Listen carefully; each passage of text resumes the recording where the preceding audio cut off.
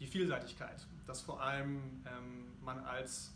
eigener Makler, jetzt gar nicht mal als Honorarberater, die Möglichkeit hat, sein, sein Unternehmen selbst zu gestalten. Sprich, ähm, ich kümmere mich zum Beispiel ums Marketing, also YouTube, Facebook, um Bewertungen, aber auch Unternehmensentwicklung, Software, aber auch mit dem Kunden und wie wir zusammen mit, also als Unternehmen, das Kundenerlebnis steigern können. Und wenn man das dann alles in Summe, was man vorher tut,